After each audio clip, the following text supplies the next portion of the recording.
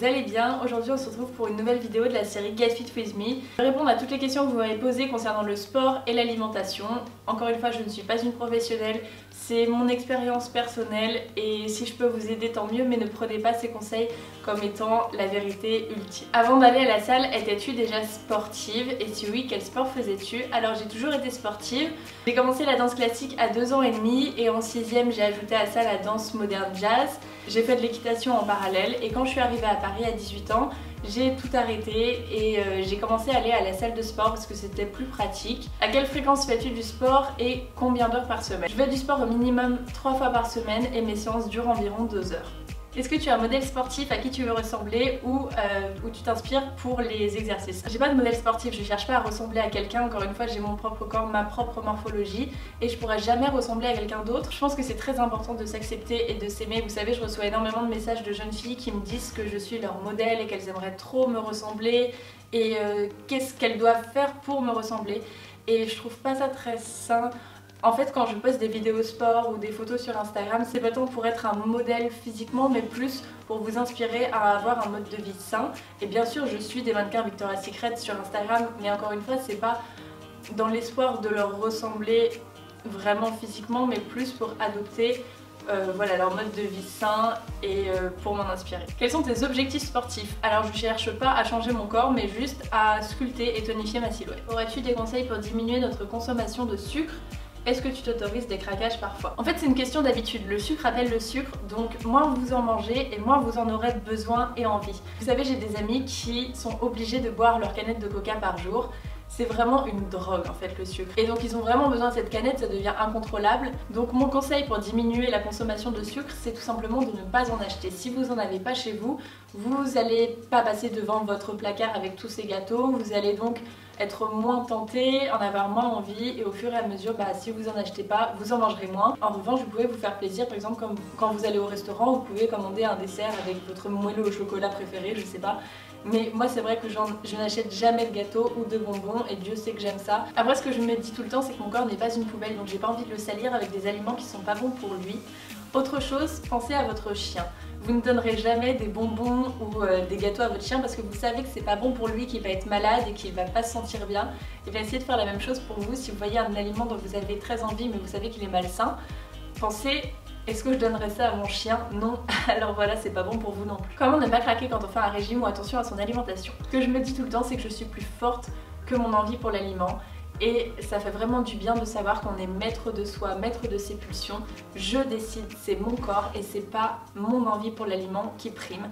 Et la satisfaction qu'on a en ayant réussi à résister est encore plus forte que la satisfaction qu'on aurait eue en mangeant cet aliment malsain. On m'a demandé quel est mon plat malsain préféré, sans hésitation le couscous, végétarien parce que je n'aime pas la viande. Je voulais répondre à cette question pour clarifier un peu les choses. Est-ce que tu t'intéresses au végétarisme, végétalisme? Pas vraiment. En fait, je ne mange pas de viande car je n'aime pas le goût de la viande depuis toujours en fait je, suis née et je n'ai jamais aimé le goût de la viande. Après je peux pas dire que je fais ça pour les animaux parce que ces pensées seraient pas légitimes étant donné que je porte du cuir sur mes chaussures ou euh, mon sac à main voilà. Qu'est-ce qui te motive à faire du sport? Alors déjà bien sûr garder la ligne mais Ensuite, le sport c'est un cercle vertueux car après que vous ayez fait votre séance, vous n'avez pas envie de tout gâcher en mangeant un McDo donc vous allez manger sainement et vous allez avoir un mode de vie sain, donc vous allez être bien dans votre tête, bien dans votre corps et tout va s'enchaîner de manière très positive. Vous allez être plus positif, donc plus dynamique et plus productif. Et ensuite, vous serez plus motivé pour tout en général. Comment se motiver? La question m'a été posée des centaines de fois et j'ai quelques petits conseils à vous donner pour se motiver ou rester motivé. Ce que je vous conseille, c'est de se donner des objectifs à court terme.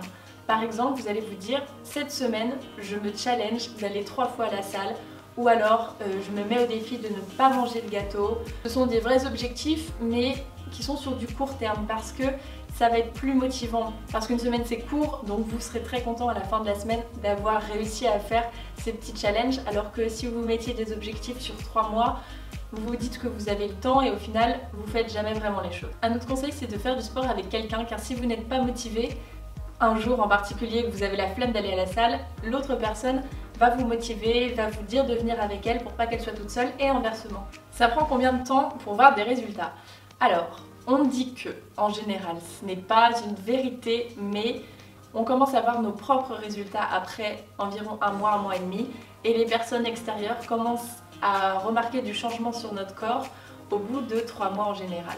Ça, c'est pour le sport, quand vous allez à la salle de sport. Après, les résultats avec un rééquilibrage alimentaire sont beaucoup plus rapides.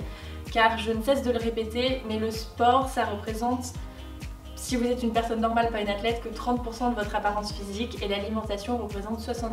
Ça veut dire que si vous voulez mincir par exemple, il faut absolument et en premier lieu faire un rééquilibrage alimentaire car euh, en mangeant bien, en mangeant sainement, vous allez maigrir sans avoir besoin du sport. Ensuite, bien sûr, vous pouvez ajouter du cardio pour maigrir plus vite. Et aussi, chacun est unique, donc ça dépend de son métabolisme, de sa morphologie.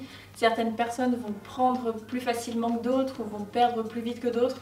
Donc ça dépend aussi de vous, mais voilà ce que je peux vous répondre à cette question. Tu manges quoi le matin pour être en forme? Alors le matin je me lève et je bois énormément d'eau et ensuite je mange euh, une salade de fruits, uniquement des fruits pour profiter vraiment de leurs vitamines et qu'elles ne soient pas altérées avec un autre aliment.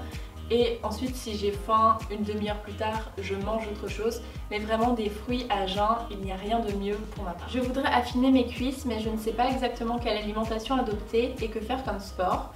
Et une autre question, si je cours une fois par semaine pendant une à deux heures, est-ce que ça va me permettre d'avoir le ventre plat?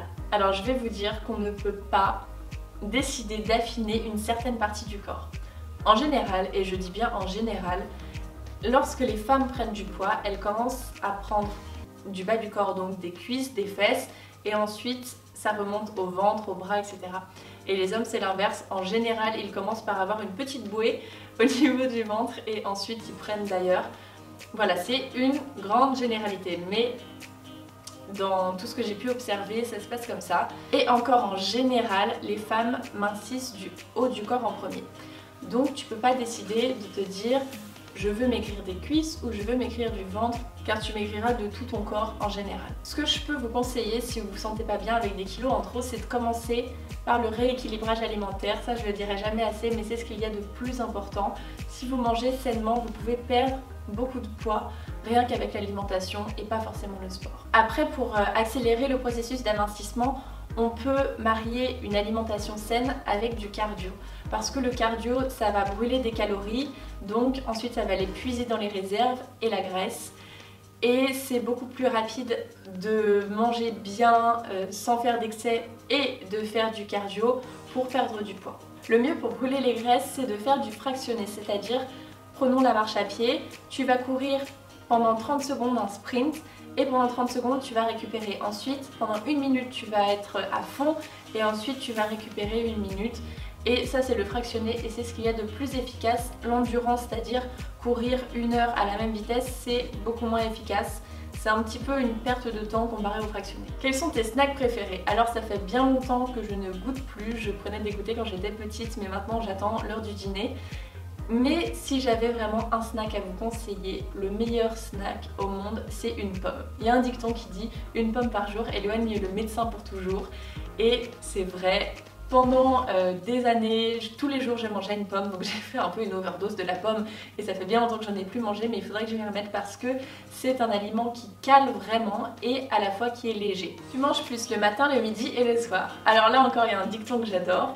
Oui, j'aime beaucoup les dictons et qui dit le matin mange comme un roi, le midi comme un prince et le soir comme un pauvre. Et c'est très juste. Car le matin, vous avez besoin de beaucoup de calories, de beaucoup d'énergie pour commencer la journée. Plus on avance dans la journée et moins on a besoin de consommer des aliments copieux et caloriques car lors du sommeil, le corps se met en veille. Il n'élimine pas aussi bien les calories que lorsque vous êtes actif durant la journée et c'est à cette période précisément que vous allez commencer à stocker et à avoir de mauvaises graisses. En fait, c'est assez logique car les calories c'est l'énergie et pendant le sommeil, le corps n'a pas besoin d'énergie.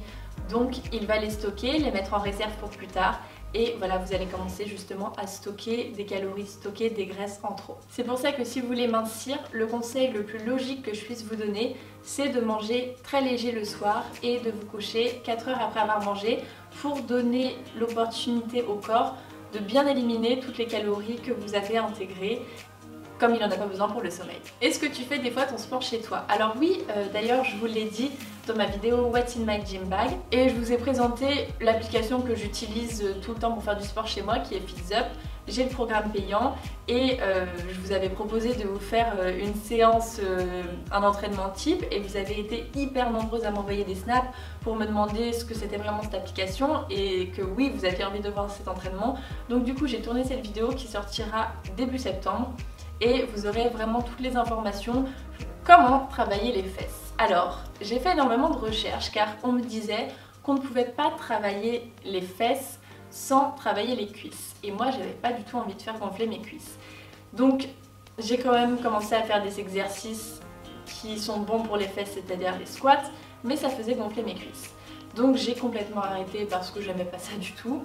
Et j'ai commencé à faire euh, des exercices ciblés qui fonctionnent extrêmement bien et voilà, qui sont vraiment ciblés sur les fessiers et qui ne font pas grossir les cuisses.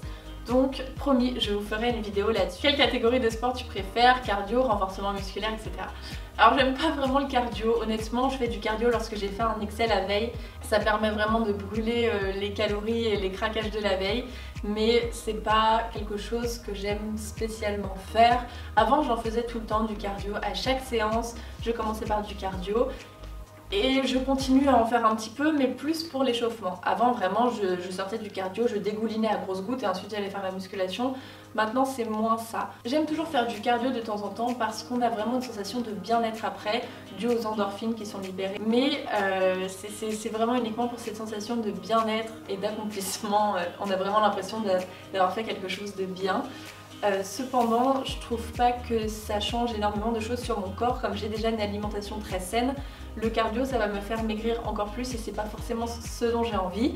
Donc ce que je préfère vraiment, c'est le renforcement musculaire, la musculation qui va vraiment permettre de sculpter mon corps, euh, de me renforcer, pas forcément de faire gonfler mes muscles, mais voilà, d'être ferme et sculpté. Tu as des conseils minceurs alors j'ai l'impression que je vous en ai donné un peu tout au long de la vidéo, mais si je pouvais vous en résumer quelques-uns qui sont euh, assez logiques et utiles. Boire au minimum 1 litre et demi d'eau par jour, je bois 2 litres d'eau par jour. Manger léger le soir, pour les raisons que je vous ai citées précédemment. Se faire plaisir quand même, parce que si vous êtes trop frustré, un jour vous allez craquer, vous allez finir le pot de Nutella au lieu de vous faire une tartine si vous avez envie d'en manger une donc faites-vous plaisir quand même. Mais les craquages doivent être occasionnels parce que c'est la régularité qui fait grossir. Si vous avez mangé plus de calories que vous en aviez besoin dans la journée, vous pouvez aller faire du cardio pour les éliminer rapidement en privilégiant le fractionné qui est le plus efficace. N'hésitez pas à mettre un like et un commentaire à cette vidéo si vous l'avez appréciée. Vous abonner à ma chaîne pour voir toutes les vidéos que je posterai en Corée car je ferai beaucoup de vlogs et aussi à vous abonner sur mon Instagram car on est de plus en plus nombreux et ça me fait trop plaisir et pareil vous allez avoir énormément de photos en Corée donc si vous voulez voyager avec moi n'hésitez pas à me suivre un peu sur tous les réseaux sociaux, activer la petite cloche pour être sûr de ne rater aucune vidéo. Je vous embrasse très fort, je vous souhaite de passer une très bonne journée et je vous dis à très bientôt. Bye